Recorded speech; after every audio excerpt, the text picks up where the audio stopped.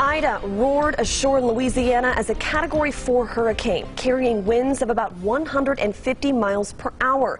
Also, stoking fears storm surge could bring massive flooding and damage to a wide swath of the Gulf. We are tracking every angle of this with our team of reporters tonight. Let's start with our CBS News correspondent Michael George, who has the latest from New Orleans tonight. Well, Sasha, I can tell you we're still getting pounded by Ida. It is hovering overhead right now. The wind was the biggest issue at first, those powerful winds that you mentioned. Now it's the rain. It is coming down torrentially here. We're seeing reports of flooding all throughout the area here. Right now we're in the French Quarter in New Orleans. We've seen trees down. We've seen roofs ripped off of the, uh, of the top of the buildings. It's just going to be a very long night for people here.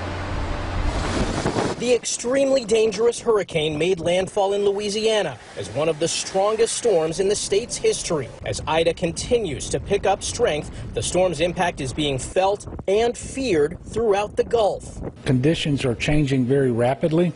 And obviously, we have a very dangerous situation on our hands with Hurricane Ida. FEMA says the coasts of Louisiana, Mississippi, Alabama, and Florida are in the life threatening storm surge warning area. President Biden visited FEMA headquarters in Washington as the agency prepared emergency services, including food, water, power generators, and search and rescue teams. This is going to be a devastating, a devastating hurricane, a life threatening storm.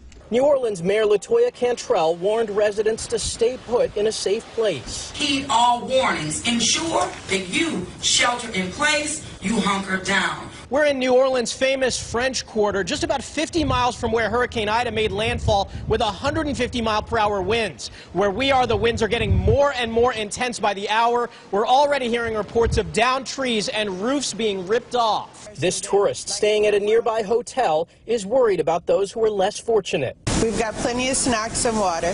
I'm much more concerned with the homeless population here in New Orleans. Gulf State residents were warned to either evacuate or beware that emergency services might not be available during the height of the storm. In its aftermath, utility companies say power outages could last for weeks.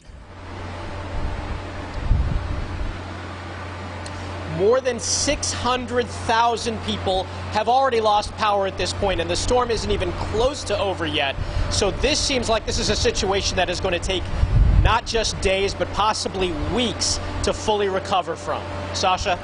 Michael, very difficult situation out there. So you mentioned that, you know, this is hitting 16 years exactly since Katrina hit in New Orleans, a really chilling fact for so many. So in terms of the response and preparedness, what, preparedness, what has changed since then?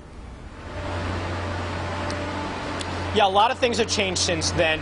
Now, the levees and the flood walls, the collapse of those during Katrina led to so many of the loss of life, so much of the damage, so much of the flooding, and those have been strengthened considerably in the past 16 years. Billions of dollars spent to reinforce and strengthen the flood walls and the levee. So the hope is that they will hold, but of course at this part at this point it's far too early to say. It's going to be a very long night.